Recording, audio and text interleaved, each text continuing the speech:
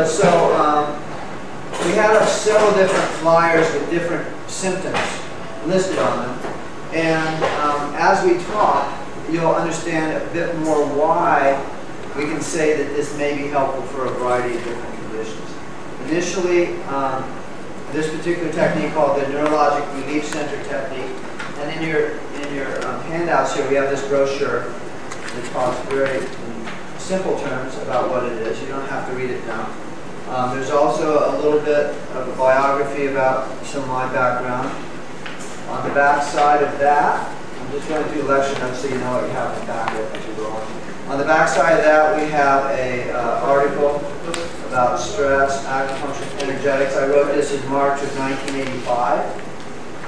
And so I've been studying aspects of stress and what it does to the body for many years. And so we all know at least that stress has existed since 1985. That's a joke. It's lasted much longer than that.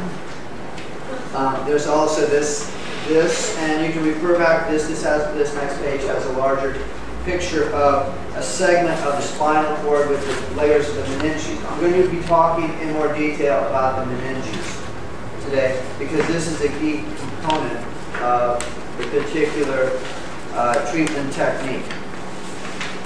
Then uh, next page we've got a list of different symptoms and uh, on one side it says NRCT, that's Neurologic Relief Center Technique. Um, next to it there's Parkinson's. Um, I do also work with people with Parkinson's. And no one here has Parkinson's, right? All right, so I, will skip that part of the lecture.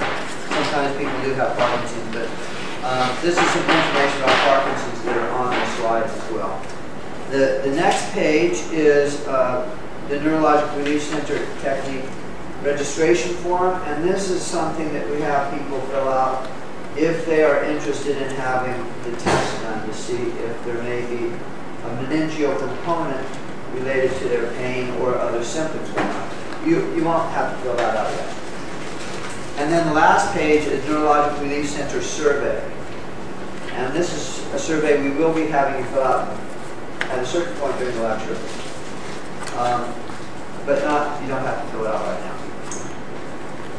This is also the basis. At the end of the lecture, I will be offering um, people the opportunity to come in for a, a free uh, test and a brief evaluation of their health concerns. It, it's, um, it won't cost you anything. It's very valuable. And you need to have this filled out completely in order to do that as well, in order to take me up on that offer. So anyway, that's the lecture notes here. And that's what. All right. My name is Jay Sordean. I'm a licensed acupuncturist, herbalist, and an uh, Oriental medical doctor. I've been practicing in California since 1983. And um, we have a clinic just down the street, a couple blocks down, called the Redwood Clinic, corner of Webster Telegraph. Um, I not only am I an acupuncturist, but I'm also a wellness consultant. So let me explain a little bit about what that means. Uh, people come to me after having seen two, three, four, five, six other physicians oftentimes, and they haven't quite gotten the solutions that they needed. And so I do a thorough history evaluation and see if there's something that um, others have missed that holds the key to what's going on with their health problems. Um, people do come from um, all around the Bay Area, around the state, around the country to see me. Um, so you might be here today because of yourself. Perhaps it's chronic pain, or it's restless leg syndrome, or uh, chronic uh, or fibromyalgia. Um, or you might be here because some other person that you know also may have something like arthritis or asthma. Um, they may have allergies or digestive disorders. And so uh, I'll be covering a variety of things here, and this is not a panacea, because it works with some people, but it doesn't work with everyone. But the test was developed to help understand which people were more, more likely to respond to treatment. Um,